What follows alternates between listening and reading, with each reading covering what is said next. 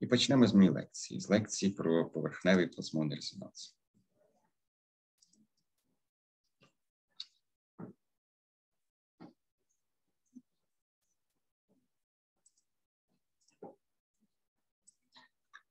Кажіть, вам видно, чутно?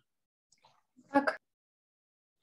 Цю лекцію нам люб'язно надав, він колись нам і читав. Рачков Олексій, е, це співробітник Інституту молекулярної біології і генетики. З нами співпрацюють. Він хороший спеціаліст в поверхневому плазмонному резонансі, використовує його для своїх досліджень. Е, дуже цікаві там дослідження. І, до речі, в інституті е, молекулярної біології і генетики наші студенти можуть проходити як практику, так і виконувати дипломну роботу. Хто з вас бажає після моєї лекції, це буде така рекламна, можна сказати, лекція, ознайомча із цим методом. Дуже цікавий метод. Там вони в основному цим займаються. І це приклад, дуже яскравий приклад високої технології. Ви побачите, що тут поєднуються фізика, хімія, біологія, біохімія, комп'ютерні технології. Не випадково наші найкращі партнери Е, з інституту молекулярної біології і генетики. Е, вони працюють в нас в інституті е, високих технологій, читають лекції. Мабуть, дехто з вас з них вже вам і читав якісь лекції, да? чи ні? Солдаткін, Дзядевич. Той же да? той же Рачков читав. Ну, вони вам про поверхневий плазмонний резонанс розповідали, ні? Ні. Ну, хорошо тоді я спробую розповісти. Е, можливо, це не буде так професійно, як це робив Рачков в свій час, але зараз у нас вже немає можливості його запросити читати лекції. Ну, спробую я. Е, отже, цей метод дуже широко використовується для е, конструювання біосенсорів різного типу.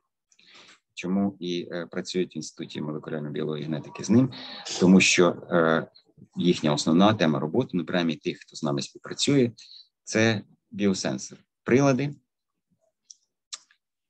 які сполучають специфічний логічний чутливий елемент і фізичний перетворювач, трансдюсер, там англійською мовою тут на цьому слайді, який перетворює біохімічний процес в електричний сигнал.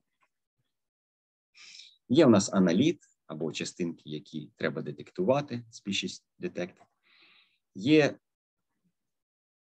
біологічний або штучно створений з об'єктів матеріал, який будемо називати е, чутливим, чутливою поверхнею. Це на поверхні найкраще робити, тому що поверхня дозволяє специфічні взаємодії реалізувати е, в ширшому масштабі.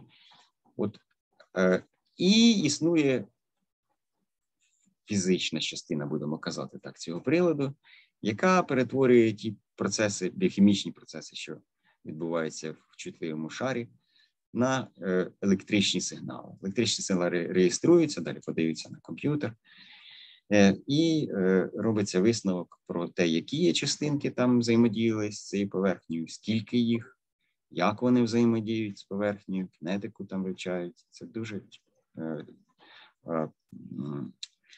ефективний метод аналізу, який дозволяє аналізувати експрес-методом багато різних речовин, газів, рідин, твердих речовин, розчинах і так далі. Це зараз дуже е, активна область досліджень.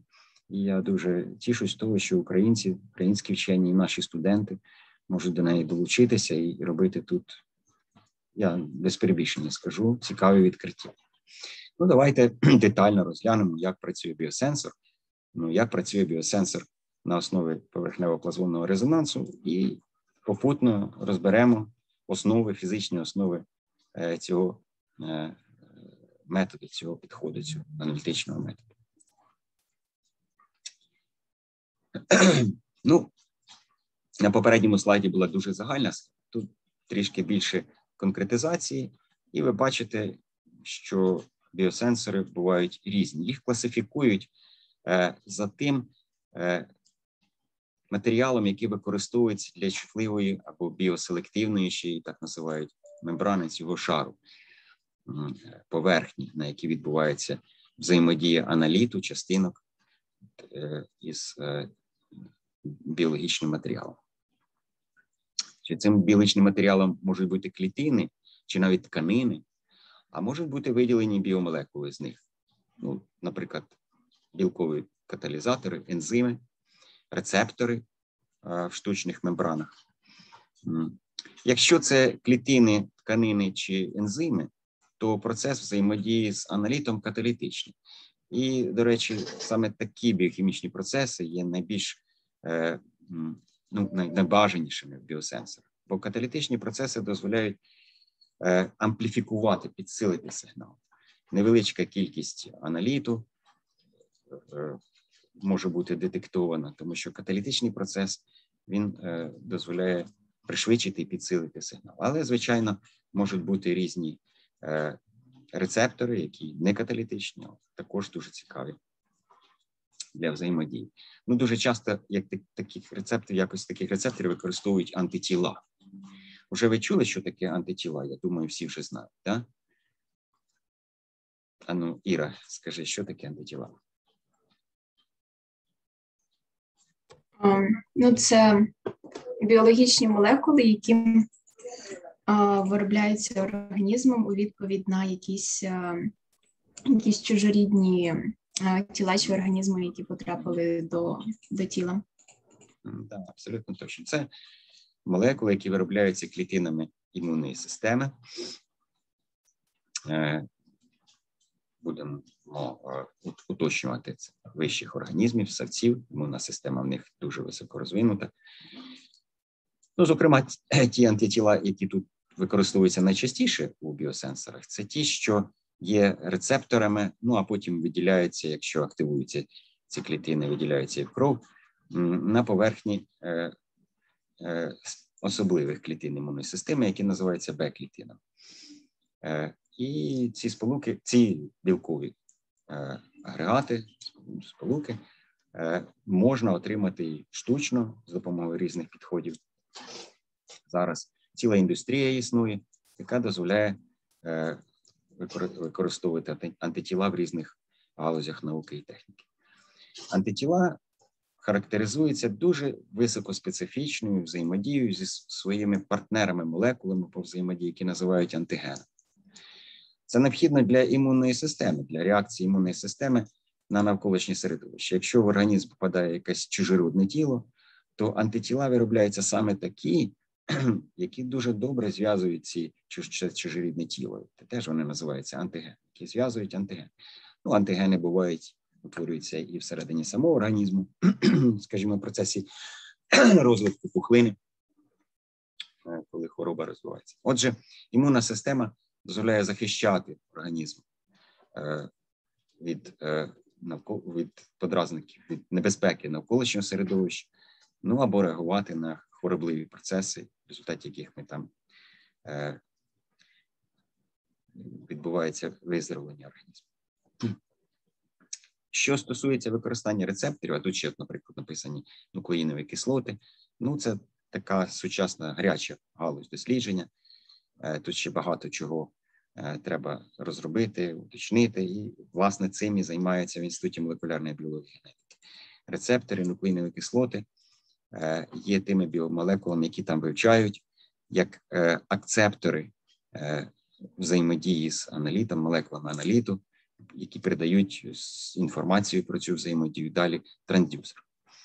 Ну, а цей фізичний перетворювач, або трансдюсер, ми його називаємо, також може бути різний, і тому біосенсори класифікують, також можуть бути класифіковані, от виходячи з того, як саме перетворюється Хімічний процес, чомусь ми називаємо біохімічний, там вже мало чого від біо залишилось. Буває так. От, Хімічний процес, як, е, у що він перетворюється і як детектується. Е, чи на найбільше зараз біосенсорів використовують оптичні трансдюсери. І сьогодні мова буде якраз про один із таких, де хімічний процес, е, хімічна чи супрамолекулярна взаємодія перетворюється на оптичний сигнал, що далі потім оцифровується, е, в свою чергу перетворюється в електричний сигнал, і, е, який оцифровується і передається на комп'ютер.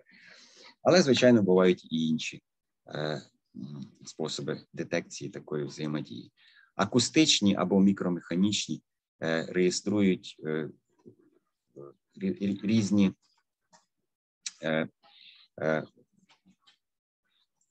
механічні зміни у мембрані чи в біоселективній мембрані. Е, є ще окремі гравіметричні, такі зміни, яких е, реєструють зміну маси, е, калориметричні, які реєструють тепло, що виділяється чи поглинається. Ну, нарешті електрохімічні, якщо хімічна, хімічний процес в біоселективній мембрані генерує якусь різницю потенціалів і електрорушійну силу, то вона також може реєструватися безпосередньо перетворюватися в цифру, оцифровуватися. Ось такі є типи біосенсорів, це просто для вашого знайомства. Ну а зараз перейдемо до тих, які найбільше нас цікавлять в сьогоднішній лекції. Це ті, які е, використовують для е, фізичного перетворення оптичний діапазон електромагнітних коливань. От я ще раз в такій інтерпретації вам наведу е, шкалу електромагнітних коливань. Ви тут побачите, що оптичний діапазон це такий, де частота і довжина хвилі е, міняється відносно небагато. Е, ну, довжина хвилі від 400 до 700 нанометрів. Використовується також і ультрафіолетовий діапазон, і інфрачервоний у таких біосенсорах, але найчастіше це видимий діапазон світло, як ми його так називаємо. Такий е, діапазон електромагнітних хвиль. Ну і такий діапазон, ну в тому числі ультрафіолетовий і частина інфрачервоного, може взаємодіяти з матерією по-різному. Це ми ж з вами добре вивчали. Е, Може відбуватись поглинання, також випромінювання, емісія, це флуоресценцію ми ще її називаємо. Е, але також відбуваються такі явища, як заломлення відбиття, е, що теж можуть бути використані Е, у фізичних перетворюючих біосенсорах. А тепер от перейдемо до того явища, яке безпосередньо фізичного явище, яке безпосередньо лежить в основі плазмонних біосенсорів. Взагалі, що таке плазмон? Досить легко зрозуміти е, плазмон, якщо уявити собі його як частинку. Але будемо називати це не частинкою, а квазічастинкою квантовою яка проявляє властивості як частинки, так і хвилі, це ви знаєте. І саме такі квазічастинки в плазмонному резонансі взаємодіють із світлом, що ми щойно визначили. Тої довжини хвилі, яку от щойно розказав. Чому ж це не частинка, а квазічастинка? Ну, Це стане зрозуміло, коли я дам визначення. Е, це опис колективного коливання електронного газу у металах і узгоджені розповсюдження цієї електромагнітної хвилі по поверхні металу. Е, ну, фактично, хвиля, можна сказати, частинка, але е, приставка квазі говорить про те, що це явище, це квазі-частинка не може існувати без того середовища, де вона виникає, існувати самостійно, сама по собі розповсюджуватися просто. Необхідне середовище в даному випадку це повинен бути метал. Давайте згадаємо оптичні властивості металу. Ви з е, курсу фізики знаєте, що є такий, є така дуже проста модель того, як може собі уявити метал. Можна уявити собі його як 3D такий кристал, який складається з позитивно заряджених іонів і колективно делокалізованого газу електронів, що їх зв'язує. Ну, такий так званий металічний зв'язок. От квазічастинка е, виникає, як ви бачите з цього визначення, саме в електронному газі. Там можна збудити колективні коливання електронів. Е, фактично, самими частинками є електрони. Ви знаєте е, багато фізичних процесів, де безпосередньо самі частинки, ці а не квазичастинки, що вони утворили, взаємодіють з електромагнітним коливанням. Ну, скажіть мені фізичні методи, які базуються на цьому, Оля Ващенко. Які фізичні методи базуються на е, взаємодії електронів як частинок із якимось електромагнітним коливанням певного діапазону? Ну, назви мені парочку.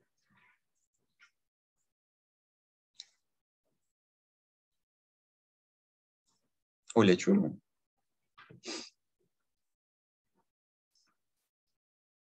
Оля Ващенко.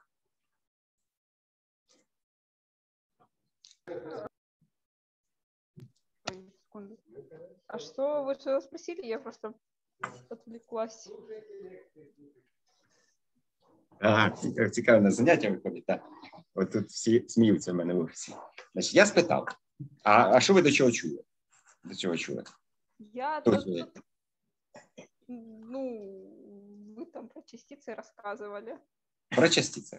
Та я розказував про те, що електрони у металах, е, які там можна уявити собі як колективний такий електронний газ і його поведінку розглядати як єдиного цілого, хоча це він складається з багатьох частин, е, в ньому можуть утворитися квазічастинки, колективні коливання електронного газу. Але якщо розглянути електрони як частинки, не квазічастинки, а саме просто частинки, то ми вже знаємо фізичні методи, які базуються на їх взаємодії з електромагнітним коливанням. Назвіть мені ці фізичні методи, де електрони взаємодіють з електромагнітним коливанням. Ну, парочку. М, Ну, электроны это ЭПР. ЕПР. Електронний парамагнітний резонанс. Абсолютно точно. Ну, И по идее, властивости- там всякие УФ. Это же Магніт. тоже- Ультрафіолетова спектроскопія, або її там ще й називають так, електронна спектроскопія. Це також електрони взаємодіють. Абсолютно точно. Ще Оля, молодець. Ще які? Ще парочку.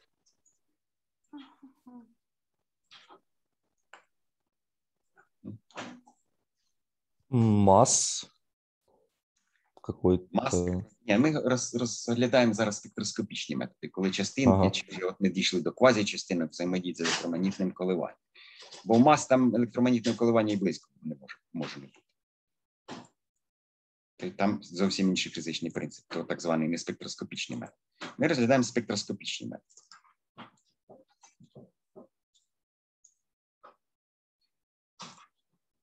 А от е, минула лекція була на чому базувала. Минула лекція, хто був на минулій лекції. Е, Дмитро Лебідь був на минулій лекції. Про що вона була?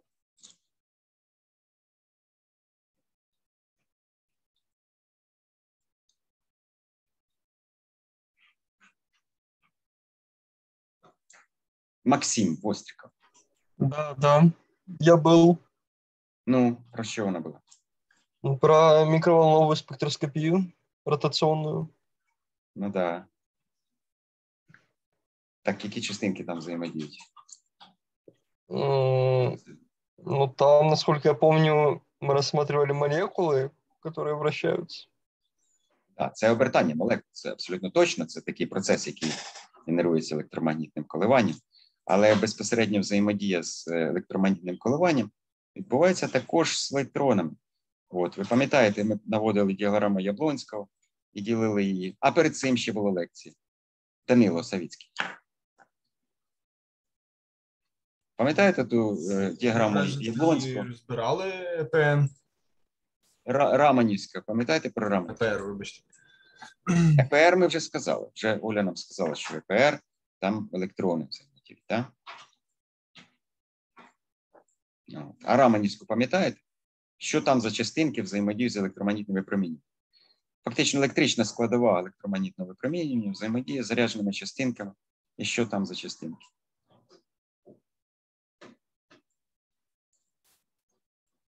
Ну, також електрони. Якщо ви пам'ятаєте, ми малювали діаграму Яблонського, електронні переходи. Е, між ними там велика відстань, велика енергія переходить цього. Потім трошки менші коливальні переходи і обертальні переходи. Вони задіяні у цих методах, що ми з вами розібрали, практично усі, окрім ядерного магнітного резонансу, де ядра. А тут скрізь частинки, це що взаємодіють, це електрони. Просто переходи між різними рівнями, де ці електрони мають різну енергію. Е, електронні рівні, основні переходи це ультрафіолетова спектроскопія, там флуоресценція, це є емісія, це ж теж, але там теж електрони задіяні. От. І чия спектроскопія теж електрони задіяні. Е, обертальна спектроскопія мікрохвильова, Раманівська також, тільки так, так сказати, отак от міряють коливальні переходи, але також е, між електронними рівнями, да? під рівнями електронними, е, коливальними чи обертальними. Ну, а тут, от ми підійшли до того, що ми можемо тепер собі уявити якусь колективну частинку, яку теж електрони утворюють, але не один, а цілий електронний газ у металах. До речі, саме е, це явище утворення квазічастинок і взаємодії його з е, світлом, з електромагнітним випромінюванням, е, визначає властивості металів. Метали ж ви знаєте, всі такі блискучі. Чому це так? Е, Так от виявилося, що енергії, е, енергії цих коливань, е, колективних коливань електронного газу, вони лежать десь в районі оптичного діапазону світла, е, тих довжин хвиль, що от ми назвали на попередньому слайді. І світло із е, е, світло, яке має довжину хвилі е, більшу, ніж е, е, оптичний діапазон, відбивається. А світло з меншою довжиною хвилі через метали проходить, от, скажімо, там ультрафіолет, рентгенівський. Е, Ну, оскільки відбивається фактично все, що до- енергії плазмонів, до видимого світла, до ультрафіолету. От, тому ми бачимо такі метали блискучі, вони практично повністю відбиваються видиме світло. Так? Е. Ну, а енергія цих е, коливань, як і енергія частинок, квантується. Частоти, які можуть генеруватися в конкретному куску металу, будемо так казати, називається е, плазмонними частотами. Е, Повторюю, е, хвилі розповсюджуються перш за все по поверхні, тому що саме там, на поверхні, відбувається взаємодія металу з, світлом, що поступає ззовні до нього. Всередину світло не проникає, як ми вже сказали, через те, що е, електрони ну, ніби екранують е, електричну складову електромагнітного випромінювання от з собою, і воно всередину не проникає. Давайте трошки детальніше про це поговоримо. От наскільки це світло проникає чи не проникає.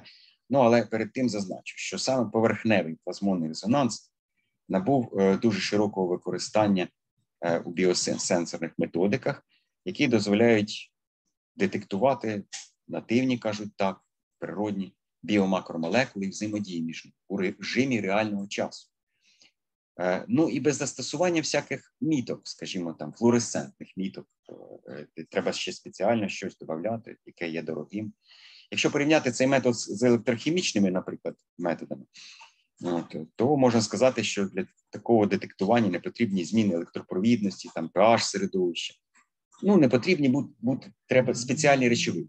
Тому цей метод виявився дешевим, е, простим в технічному виконанні і надзвичайно розповсюдженим. Тепер, якщо е, хто не знає, що таке поверхневий плазмонний резонанс, як е, цей метод використовується, то, мабуть, не може назвати себе, скажімо, медичним хіміком грамотним, тому що в медичній хімії використовується цей метод зараз дуже дуже широко. Адже це взаємодія в режимі реального часу з біомакромолекулами, які є мішенями лікарських засобів, в майбутньому лікарськими засобами. Ну, тепер я обіцяв вам більш детально розповісти, як е, використовується, як виникає плазмон, плазмон, плазмонний резонанс і як він використовується в біосенсорі. І зразу зазначу, що в сучасних приладах, використовують е, плазмонний резонанс, е, це явище фіксується в умовах повного внутрішнього відбиття. Ну, англійською мовою total internal reflection того світла, яке от використовується для е, генерації і детектування біосенсорного сигналу. Ну, що це таке? Давайте ще раз з фізики згадаємо. От якщо у нас є дві фази з більшою оптичною густиною N1, з меншою оптичною густиною N2, е, і світло проходить через границю поділу фаз, то е, кут по, до нормалі цього е, світла е, до нормалі е, поверхні розподілу фаз, якщо вона плоска, е, він буде різний. От ви бачите, що залежність синусів цих кутів а, обернена пропорційна е, оптичній густині N1 і N2. Тобто, якщо у е, е, якомусь середовищі, яке має більшу оптичну густину, е, скажімо, скло, ми е, подаємо світло на поверхню розділу фаз е, склад цього з іншою фазою, з меншою оптичною установою, скажімо, повітря під кутом альфа, то в повітрі він вже буде поширюватися під кутом бета до нормальні, е, до перпендикуляру до площини. І кут альфа буде менший кута бета. Так, це пам'ятаєте ви ще з загального курсу фізики, з оптики. Так, да? Е, ну, скажу вам, що е, не обов'язково брати е, середовище з оптичною густиною М2 повітря. Можна взяти, наприклад, метал. Його- оптична густина буде менша, ніж оптична густина скла. Ну, але от що таке повне внутрішнє відбиття?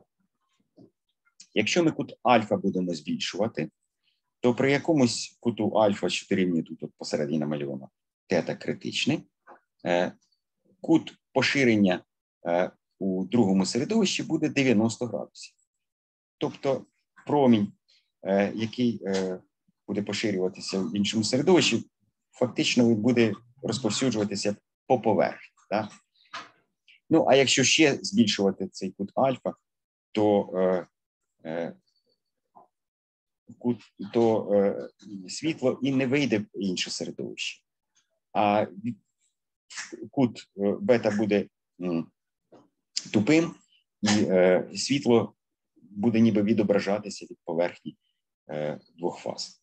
Ну, можливо, ви спостерігали такі явища де-небудь. От, наприклад, в мене є фотографія з інтернету. Ось це інсталяція в акваріумі.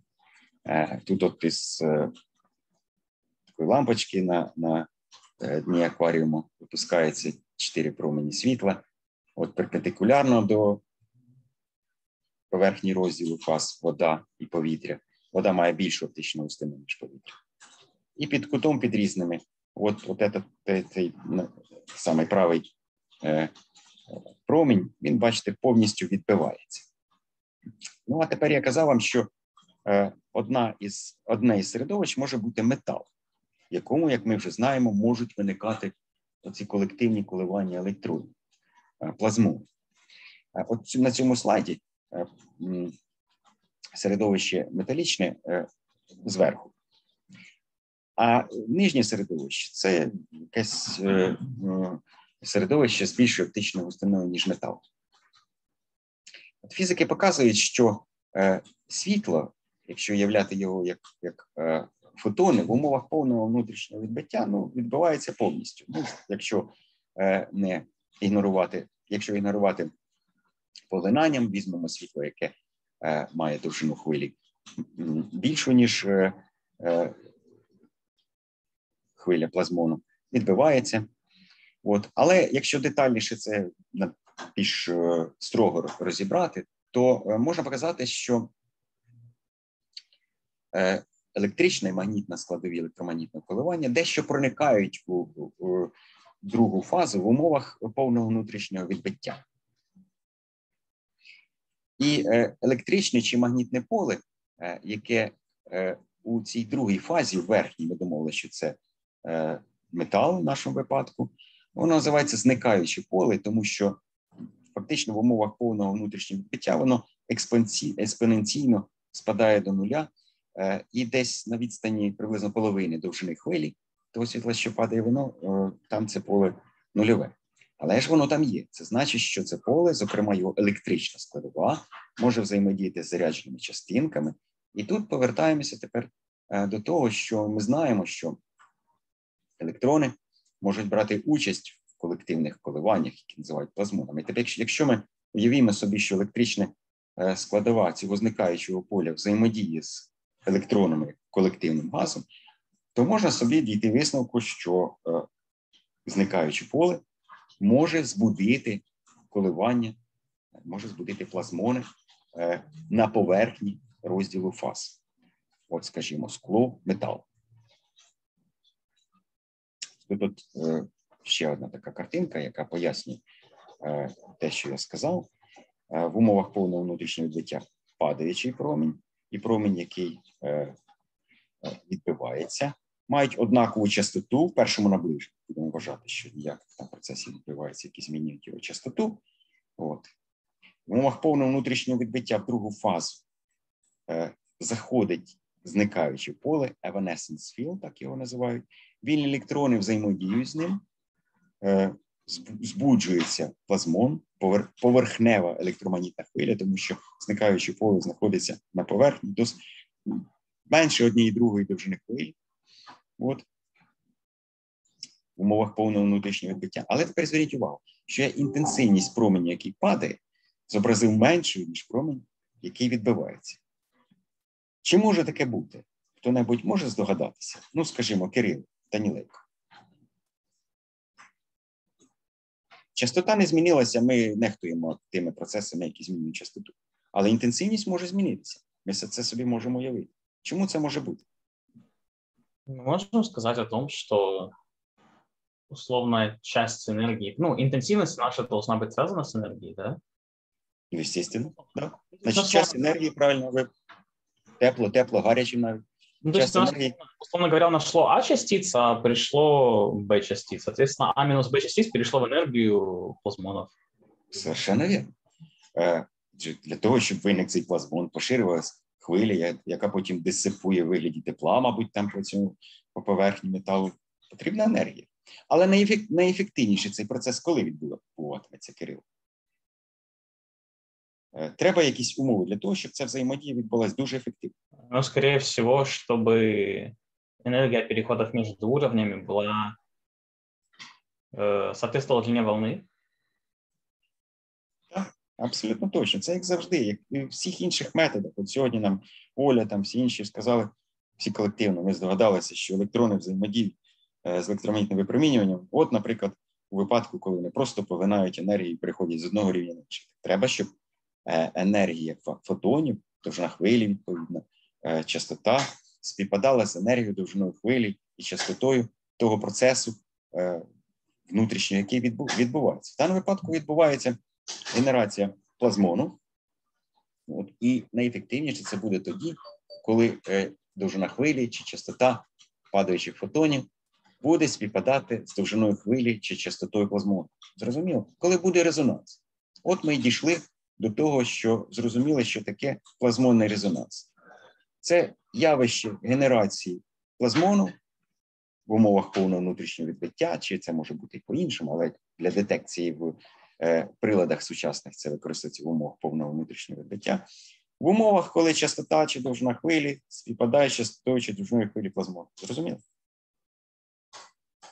Так. Ну, ще один слайд для того, щоб це пояснити. Ну, ще раз графічно.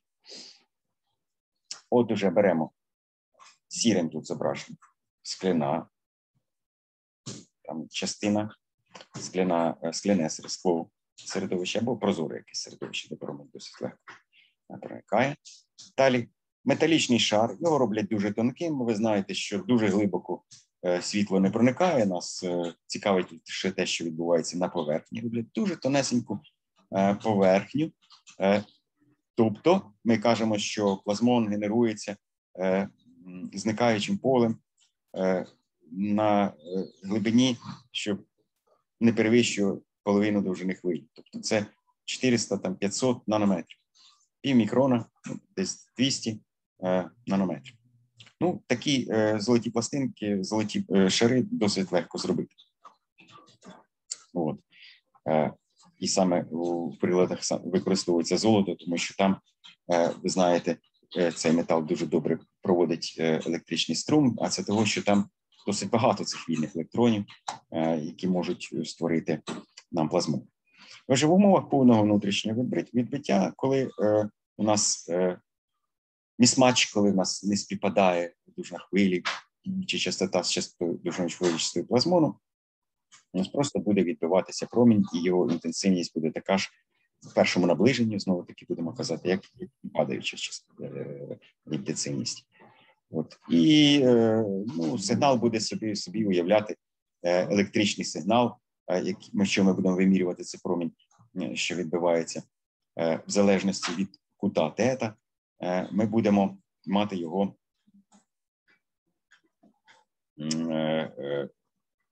будемо казати, рівнем нульовим, нічого не зміниться. Але коли ми будемо міняти кут тета, ми таким чином, це видно з другого цього другої частини слайду, ми змінюємо е, амплітуду коливання і е, відповідно е, частоту, е, яка е, е, характеризує е, електричну складову е, частини світла, частину світла.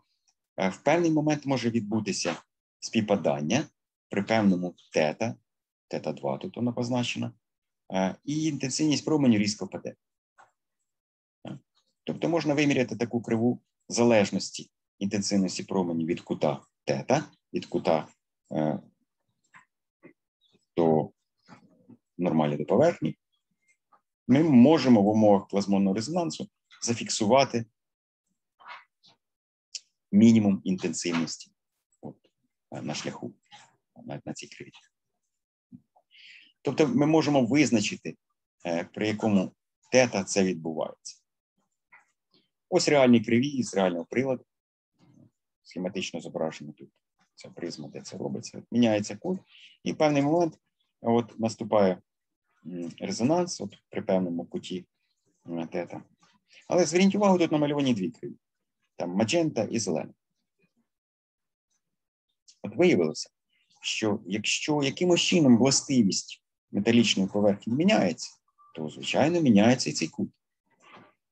І е, фізики е, знайшли, що для такої зміни необхідно дуже невеликі зміни у властивості е, поверхневого шару. І здогадалися, що якщо на поверхневий шар адсорбувати якимось чином молекули, е,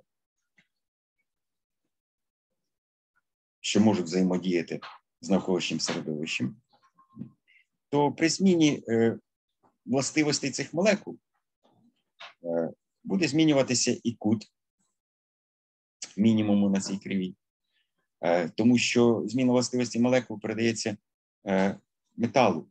Метал змінює також свої властивості, а це приводить до зміни умов, при якому відбувається плазмонний резонанс.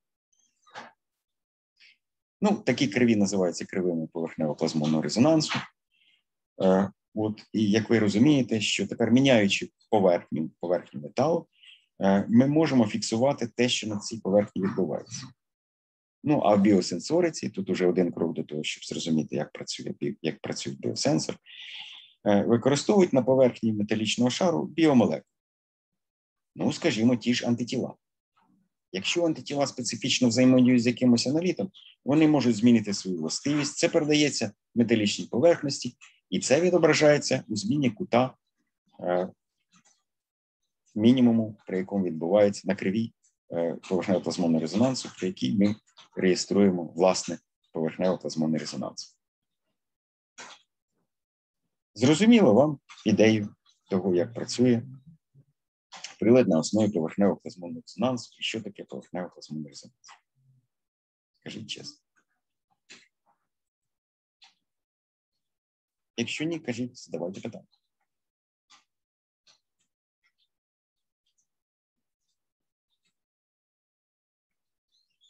Сюди повернемося.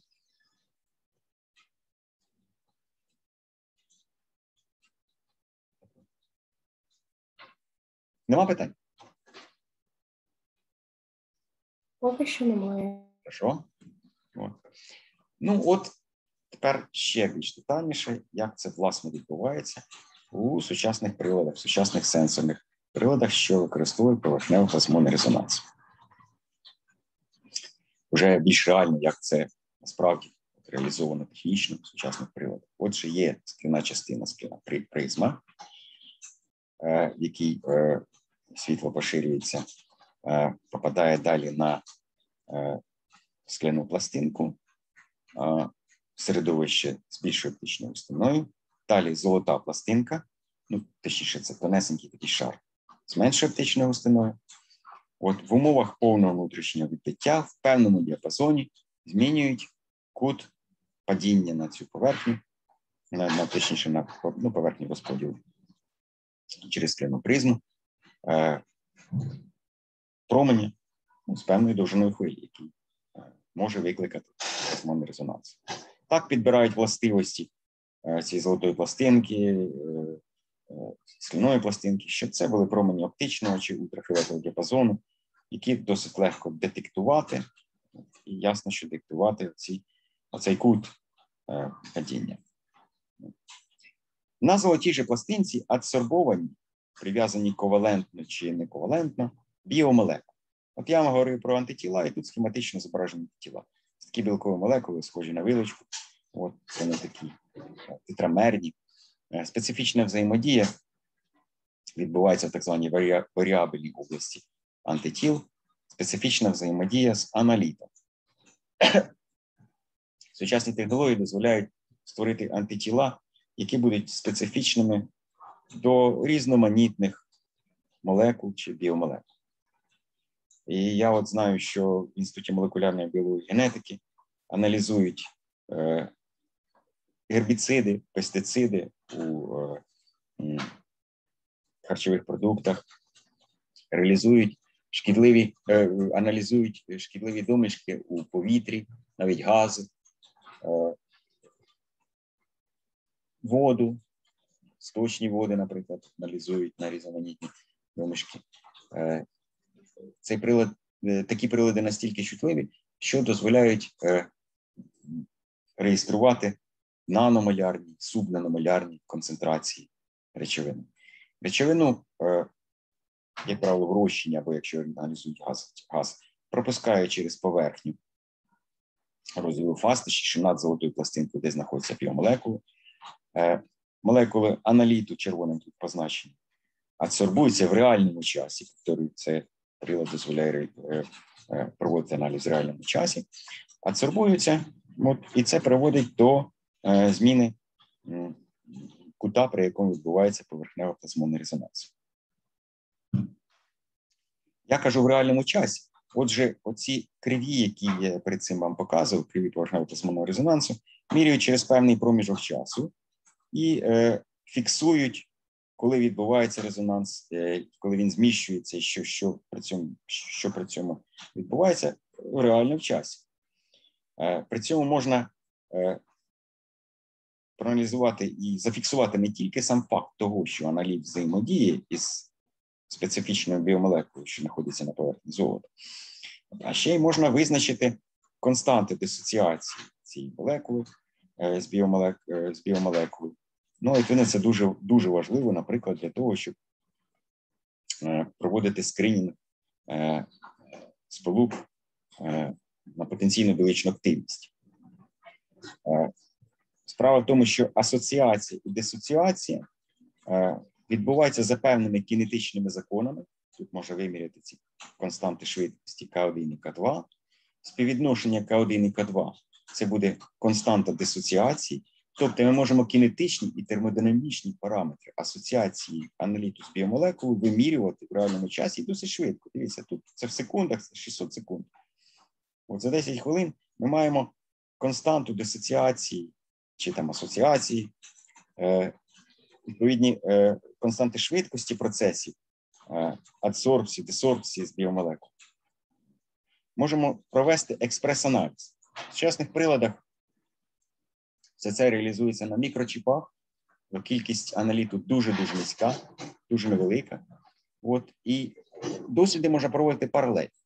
Існують такі багатоканальні поверхнево-плазмонні е, е, прилади, що базуються на поверхнево-плазмонних резонансах, які дозволяють аналізувати сотні, а то й тисячі сполук за день. Е, Наразі вже є ціла індустрія, яка виробляє ці прилади. І найуспішнішою тут є компанія Біакор. Можливо, дехто чув ну, про неї. Е, Зараз прилади цієї компанії є на е, є, ну, є у всіх поважаючих себе е, компаніях, що пов'язані з медичною хімією. Ну, зокрема, в Єнаміні є декілька таких приладів дуже цікавих. От один із них, що обведений кружечком, наприклад. От, а в них ще дуже багато різних варіантів. От е, складається цей прилад? Ну, по-перше, він роботизований. І е, сам аналіз це високоавтоматичний такий процес. Е, Подача речовини в розчинах, аналіту, е, реєстрація поверхнево прозвонного резонансу, ну а потім і обробка, все це відбувається під контролем комп'ютера. Ну, серцем приладу є так, так звана мікрофлуїдна система або чіп, де, власне, і е, є той конструкт схематично, який я вам показував. Сенсорний чіп. Ну, ось декілька тут фотографій. Бачите, які вони. Е, Тут для масштабу, мабуть, немає нічого. Ну, вони приблизно десь от 2-3 сантиметри е, величиною. Сам чіп, ось золота його частина видна тут, скляна пластинка там знизу. Чіпи навчилися робити достатньо дешеві, навіть з досить дорогими біомолекулами, тому що вони, бачите, дуже компактні, маленькі, біомолекул там дуже мало. Е, Ну, самої біомолекули. Е, Зверніть увагу от на той графік, який я показував до цього, е, що після аналізу біосенсор можна регенерувати, тобто пропустити через нього деяку, деякий час чистий розчинник або газ, якщо це в газі виміряно якийсь інертний, який видалить сполуки. І в випадку, якщо вони сполуки молекули аналіту, якщо вони е, адсорбувалися на біо, з біомолекулами не досить інтенсивно, е, то можна відновити біосенсор і використати. Ну, я знаю, що в середньому, якщо використовуються антитіла, біосенсор можна використати декілька, інколи декілька десятків разів. Ну, повторюю, вони достатньо дешеві, тому ці біочіпи, так звані, е, які вже виробляються в промисловому масштабі, е, можна закупити для якогось певного аналізу. Е, Достатньо їх кількість відносно дешево. Ну, скажу вам, що як самі прилади, так і чіпи до них в інституті молекулярної біології і генетики виготовляють. Ну, це не така не такий ще успіх, як у біокору, але в інституті молекулярної біології генетики.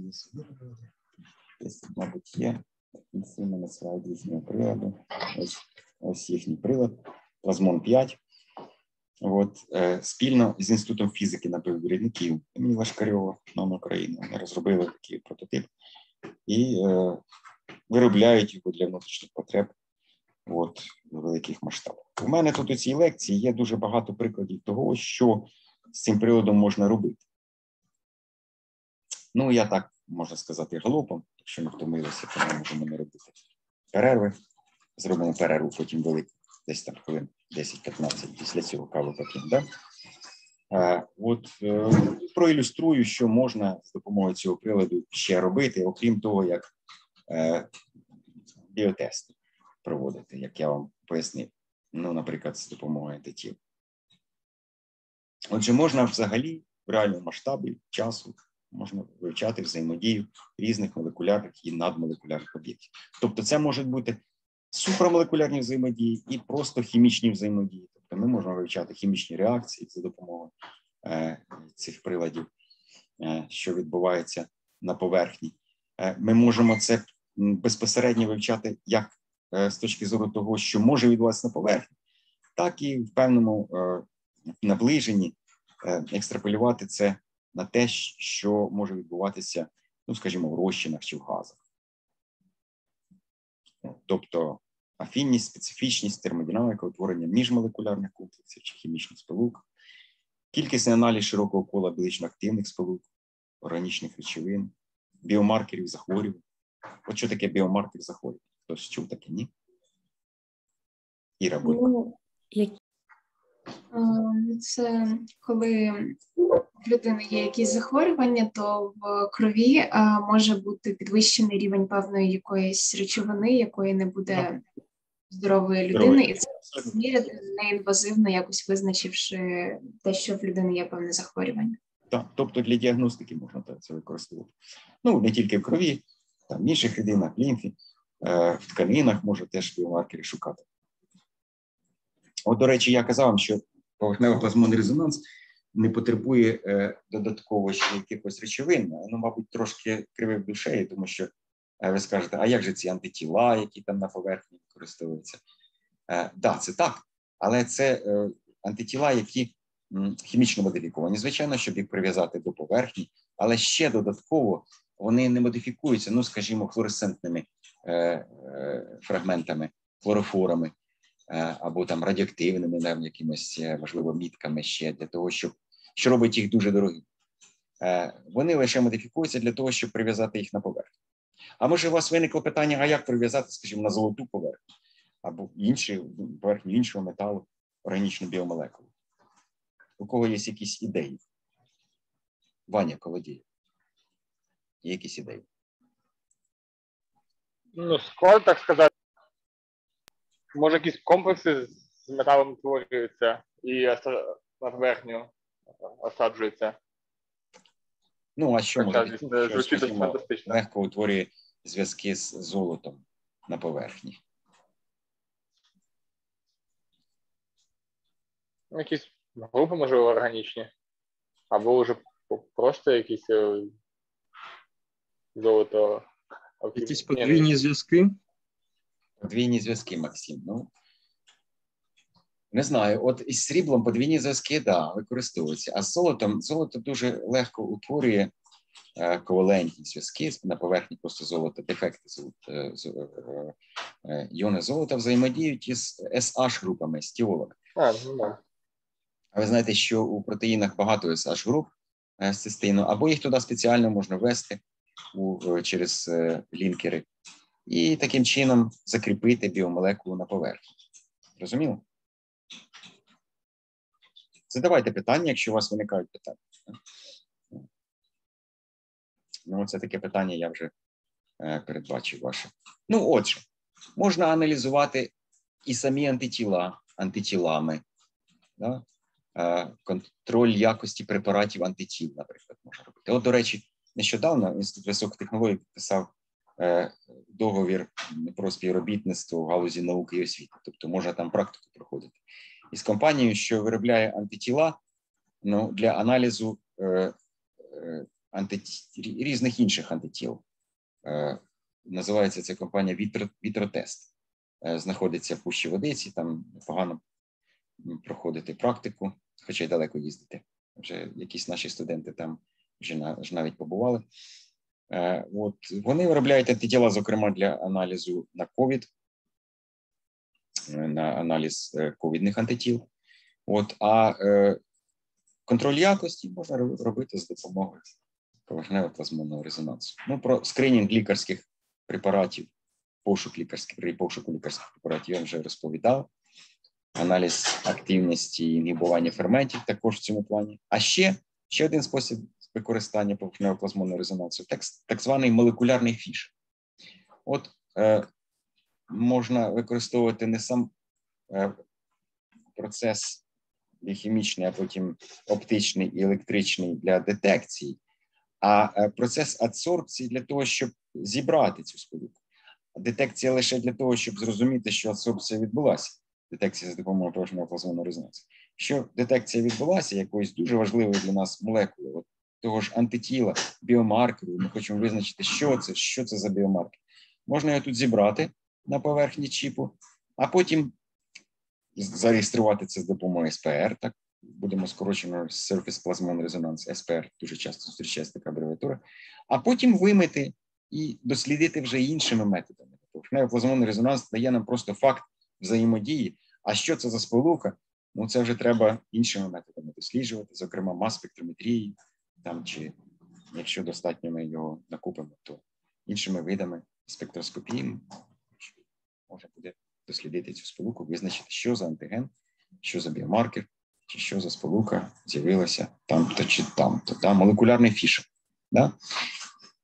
Ну, от е, в інституті молекулярної біології вивчають ось таке взаємодія білок-білок, білок низькомолекулярний ліган, білок ДНК, рецептори ДНК, РНК і ДНК РНК.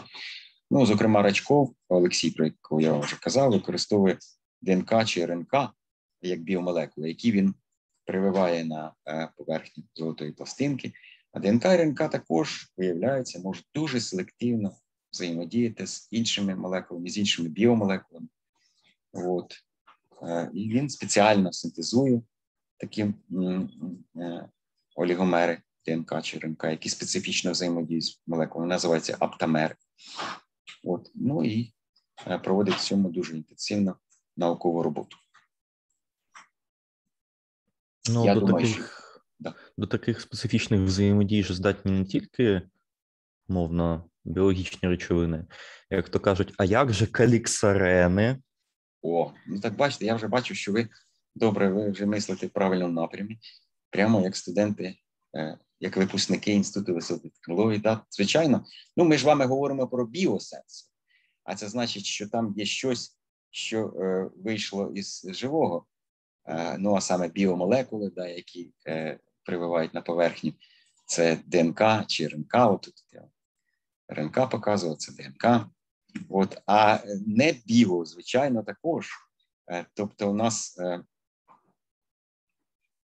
можуть використовуватися е, супрамолекулярна взаємодія, про яку вже добре знаєте, Шиванюк вам е, ще розкаже про це в курсі супрамолекулярна хімія. Багато про цього, да, звичайно, дуже хороша ідея. Можна використовувати також каліксарени, е, можна використовувати інші макроцикли, штучні, штучно створені, ну і інші специфічні молекулярні взаємодії. Ну, правда, специфічність, тобто вибірковість взаємодії, що одна якась дуже конкретна специфічна молекула взаємодіє тільки з іншою конкретною біомолекулою. Більше інші взаємодії набагато слабкіші. Ну, от саме таке е, в штучних умовах е, досягти важко, щоб воно конкурувало з біо. Чому тут біосенсор? Е, біологія, еволюція, будемо так казати, представила науковцям цій галузі дуже великий вибір молекул, які можна використати е, е, у е, чіпах для е, детектування інших молекул. От дивіться, як е, в той же групі Рачкова імобілізують, тобто прививають до поверхні ДНК. Е, одноланцюгову SS, single strand одноланцюгова ДНК, е, модифікують лінкером з тіольною групою. Е, В самій ДНК тіольних груп немає, це може тут немає, тут треба їх спеціально ввести. От до 5 штрих кінця прививають е, лінкер 6 ch 2 груп і SH, так щоб подалі трошки була ДНК від поверхні, щоб вона повністю була готова для взаємодії. От що відбувається. От. Спочатку лінкер, потім ДНК пришивають, ну а потім такий от чіп, який, як я кажу, вже виробляють в напівпромислових масштабах, може використовуватися для детекції інших молекул. Тобто одноцепочечна ДНК специфічно взаємодіє з білками, ті, які е, регулюють і діяльність ДНК в живій природі. Ми можемо їх е, детектувати і виділяти. От. Реальні криві, які отримані в цій роботі. От я показую вже криві з його е, статей, от, різні залежності, які саме ДНК можна використовувати, які білки детектувати. Ну і ще багато-багато чого цікавого.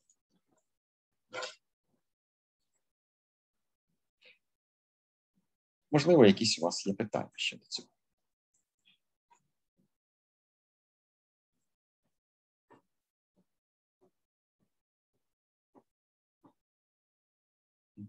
Інтенсивно проводиться робота. Я думаю, що якщо ви цим щиро зацікавитесь, можна буде організувати там виконання дипломних робіт. От, хоча більшість із вас вже, я так розумію, пристроєна, да? але ще буде магістратура у вас, так що думайте. От, до речі, е, будова е, антитіла. Чотири субодиниці білкові. От де відбувається взаємодія з антигеном. Антиген binding site тут і тут відбувається. В області так званих легких е, ланцюгів. А ось цією частиною нижньої імуноглобуліни можна привити на поверхню на поверхні е, золота. Так вони виглядають реально. От, і от комплекс з різними пептидами чи білками дуже-дуже ефективний. Так, ну тут досить велика така презентація. От, Я думаю, що е, На цьому все. Кажіть, які є у вас питання.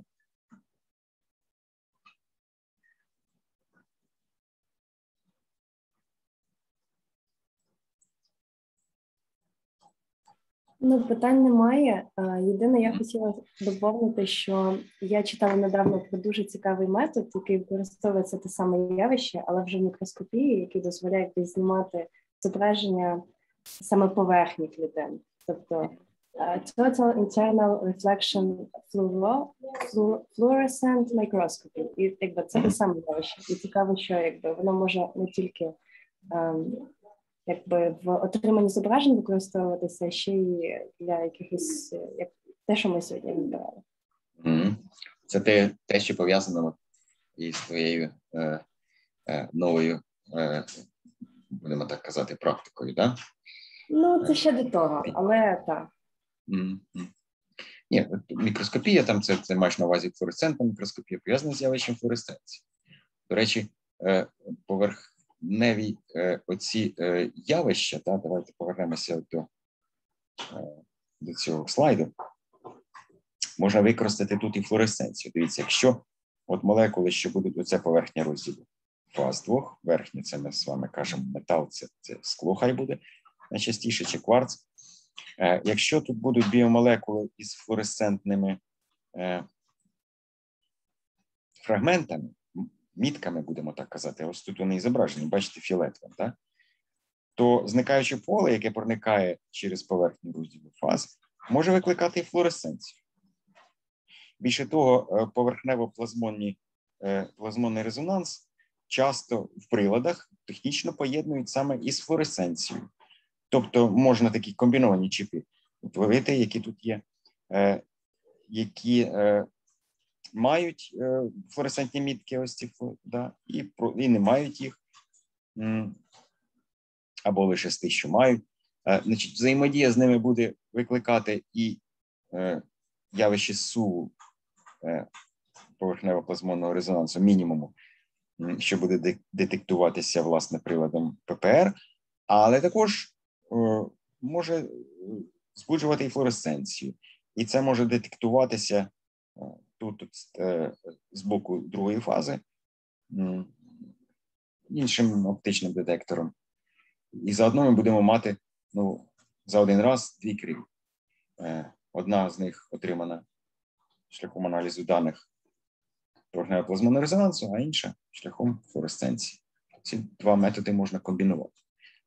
Багато чого такого можна робити, поєднуючи різні методи. Тепер, знаючи вже багато різних методів, можете зрозуміти, що можна це все поєднати в одному і тому ж приладі. Ну, більше того, хто створює прилад? Створюють прилади люди, небо горшки ліплять, як я кажу. От, і ви самі можете думати над тим, як можна той чи інший метод удосконалити або навіть щось придумати нове. Не треба себе обмежувати тим, що вже створено, а і себе уявляти ну, тими людьми, які можуть е, це створити, змінити, покращити. Зрозуміло? Мікроскопію тут навряд можна було якось присобачити, тому що процес тут динамічний. Пам'ятаєте, тут йде потік речовини над поверхнею, як правило. От. І спостерігати тут щось в цьому динамічному такому е, об'єкті важко. Ну тут якраз метод цей, який я кажу, TIR, е, то він якраз базується просто на тому, що в нас є не золота підложка, а просто як клітинне на розділі двох фаз, і відбувається цей процес еванесцентного поля, який є, яке лише на якусь А воно просто підсилює флуоресценцію, так? Да, да, да. І тобто це дозволяє знімати цікаво. тільки поверхневий шар клітин і якби дуже такі точні зображення отримувати. Да, це точно, так. А ще якщо зробити цю поверхню е, не гладенькою, а часто це роблять імобілізуючи, покриваючи наночастинками, тобто ще збільшується поверхня. Тобто підсиленою, підсилена поверхнею флуоресценція. А ви знаєте, що поверхню можна підсилити і раманівську, е, раманівський ефект. От то такі, да, да, це правда, мікроскопи. Я коли вам про раменівську мікроскопію розповідав, то казав, що таке часто використовується в раменівських мікроскопах на поверхні, е, особливо такою, як модифікована наночастинками, вивчають різні біооб'єкти, отримують їхні зображення. Так, мікроскопії, за допомогою мікроскопії. І підсилення, до речі, відбувається. От ми з вами так це вскользь е, сказали, але насправді то фізичне явище оцього підсилення базується на взаємодії плазмону із е, системою е, флуорофор е, кванти світла. Тобто підсилення відбувається плазмоном. Плазмон тут фактично е, ще одне явище резонансне, яке е, детектується в оптичному діапазоні, де ми детектуємо флуоресценцію. Тому називається плазмонне підсилення флуоресценції чи е, раменівської, е, ефекту. Знаючи вже, що таке плазмон, ви можете це трошки більш, трошки краще розуміти це явище.